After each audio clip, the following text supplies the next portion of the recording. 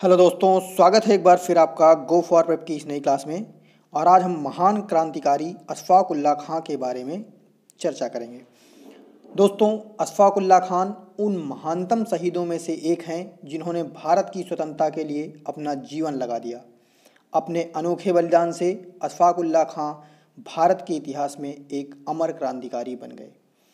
दोस्तों, अशफाकुल्ला खां का जन्म 22 अक्टूबर 1900 को उत्तर प्रदेश के शाहजहांपुर में हुआ था। उनके पिता का नाम शफीकुर रहमान और उनकी माता का नाम मजहर निशा था। दोस्तों, उनके पिता पुलिस विभाग में काम करते थे। दोस्तों, जब महात्मा गांधी ने असहयोग आंदोलन का आह्वान किया था, तब अशफाकुल्ला खां स्कूल के छात्र थे। महात्मा गांधी के इस आंदोलन ने उनके मन पर बहुत गहरा प्रभाव डाला और वह स्वतंत्रता सेनानी बनने की ओर अग्रसर हुए। दोस्तों, काकोरी में हुई ट्रेन की डकैती में उनकी सक्रिय भागीदारी को देखते हुए ब्रिटिश सरकार ने उन्हें बागी घोषित कर दिया। चौरी चौरा की घटना के बाद महात्मा गांधी के असहयोग आंदोलन को वापस लेने से भारत के युवाओं को बहुत निराशा हुई।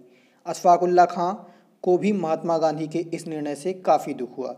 और इसके बाद उन्होंने भारत को जल्द से जल्द ब्रिटिश सरकार से मुक्त कराने का प्रण लिया और अपने कार्य को अंजाम देने के लिए वह अग्रसर हुए। दोस्तों, उस समय भारत को आज़ादी दिलाने के लिए कई क्रांतिकारी गुट भारत के कई हिस्सों में सक्रिय थे।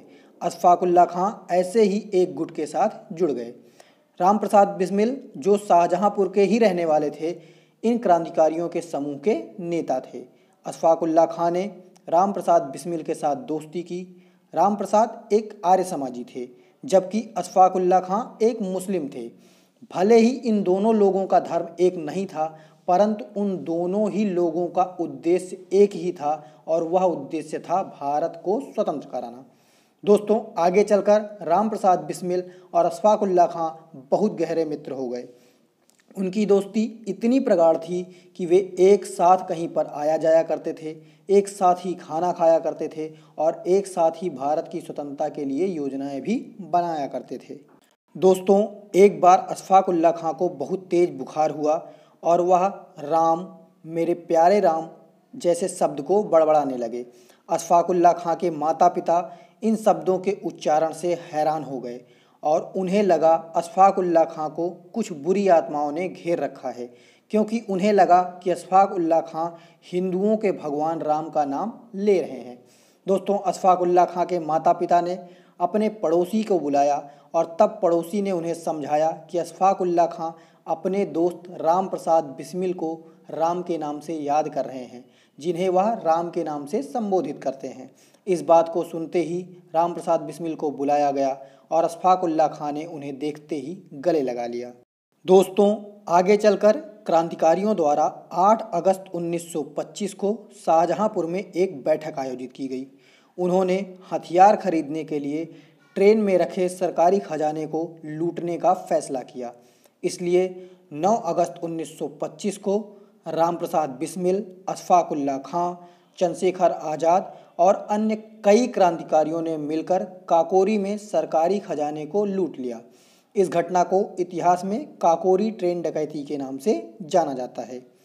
दोस्तों राम प्रसाद बिस्मिल को पुलिस ने 26 सितंबर 1925 को गिरफ़्तार कर लिया।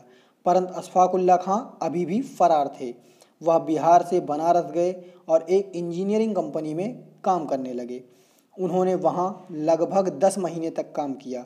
अब वह इंजीनियरिंग की पढ़ाई के लिए विदेश जाना चाहते थे, क्योंकि उन्हें विश्वास था कि ऐसा करके वह भारत के स्वतंत्रता संग्राम में मदद करेंगे। वह इसी उद्देश्य से दिल्ली गए। उन्होंने अपने एक पठान दोस्त पर भरोसा किया, जिसने उनकी मदद करने का नाटक किया, लेकिन बदले में अशफाकुल्ला खां को पुलिस के हवाले कर दिया। दोस्तों, अशफाकुल्ला खां को फैजाबाद जेल में बंद कर दिया गया। अशफाकुल्ला खां के बड़े भाई रियासतुल्ला खां उनके वकील थे, जिन्होंने उनका और उनके साथियों का केस लड़ा था।